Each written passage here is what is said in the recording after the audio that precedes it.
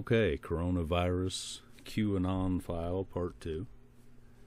So we traced the globe out.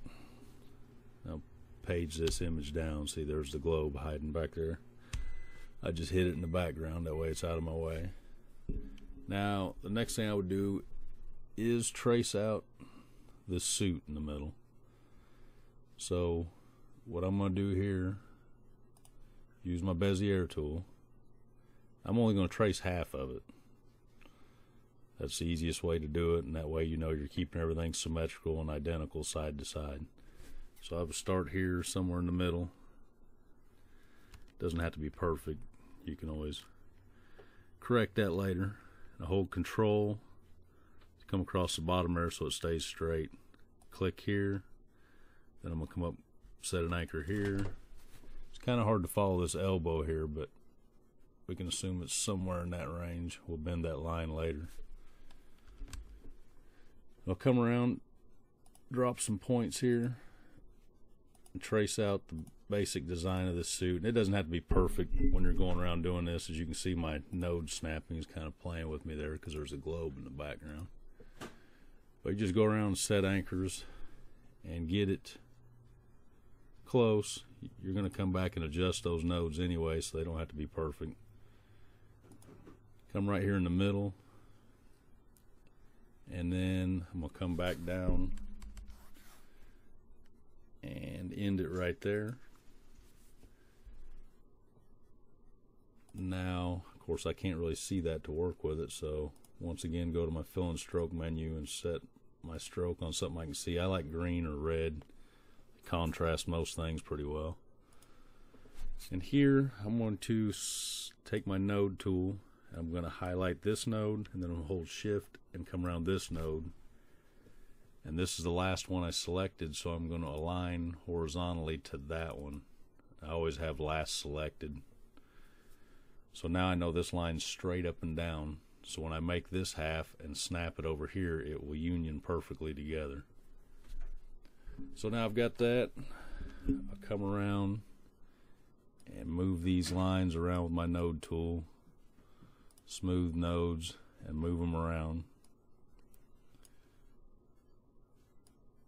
And I'll just work my way around. It really doesn't take that long because, like I say, you're only doing half of this image.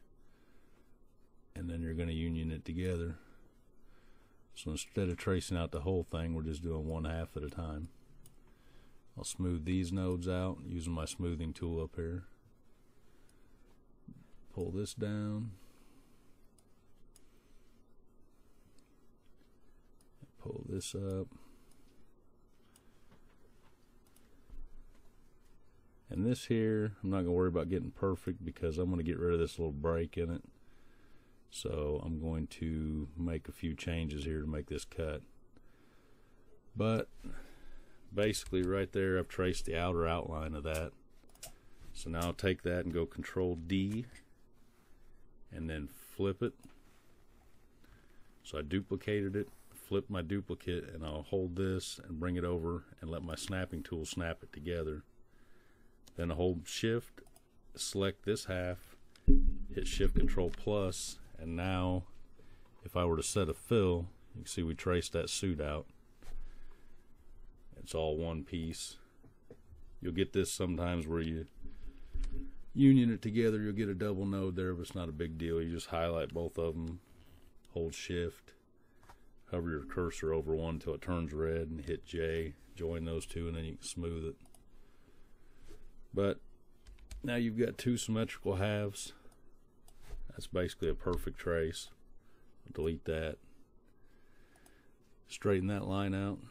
There we go. Now I'm going to turn that fill back off because I've got some details in here to capture. So same deal, I'm going to do half of this duplicate it over to the other side and make sure it all matches up. So I'll go back to my Bezier. I'm to select this here, drop a node here, one here, and then I'm not to come all the way up to here because we're to want this to be a little thicker. So I'm to bring it maybe in here come over here. That way I'm to leave enough material here to not burn through. Then I'll come out here, maybe drop one on each side and kind of round that off. Here, here, drop a node here, and back down to our starting point, close that out.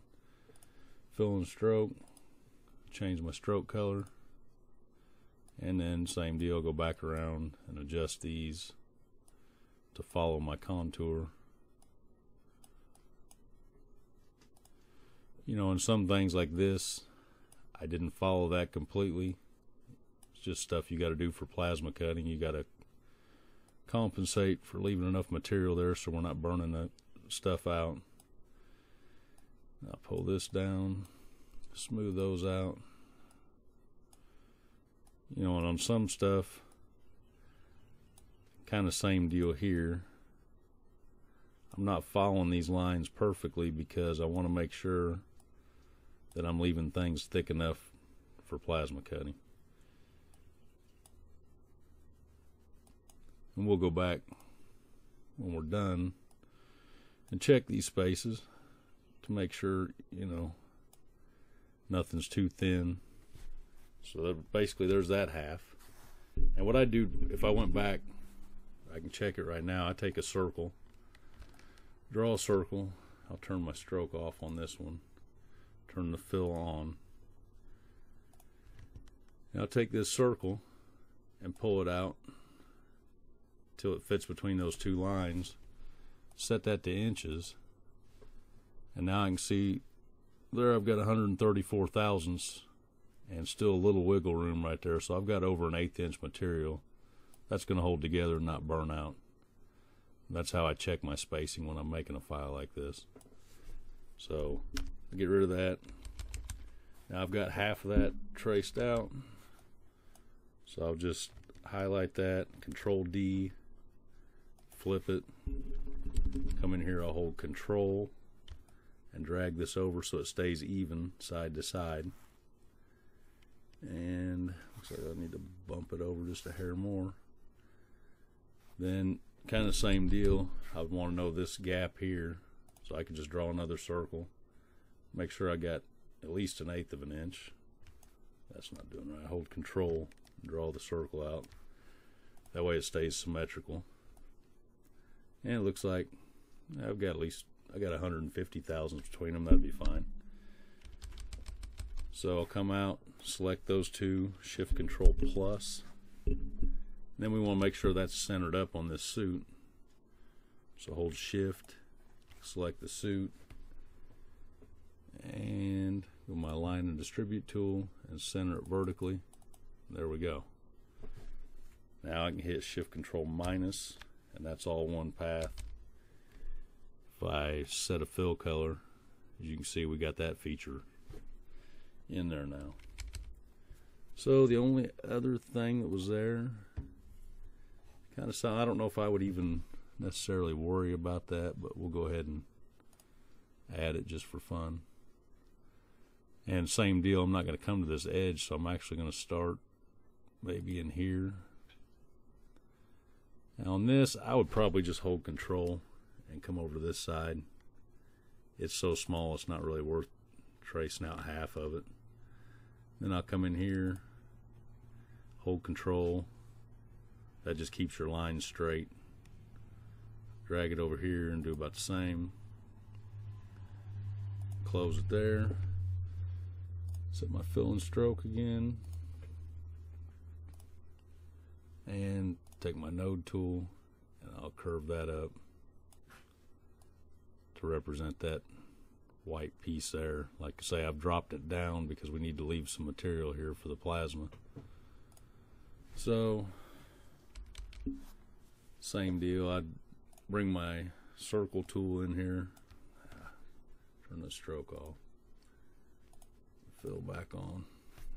Backspace that. We'll just hold control. Draw me another circle. I go for a minimum of an eighth inch. So we'll set it at an eighth inch. And there as you can see that that would work. It's pretty close. Fits in there. I've got about an eighth inch material left. I got more than an eighth there. So that will work pretty well. So I would just select that, select the suit, align and distribute, center it up, and shift control minus. There we have it. There's the QAnon suit traced out. Select it. There we go. So that's the next step of tracing this this design out. We've now got the suit, we've got the globe. Now just add those leaves off to the side and the question mark and I'll do that in the next step. Thanks for watching.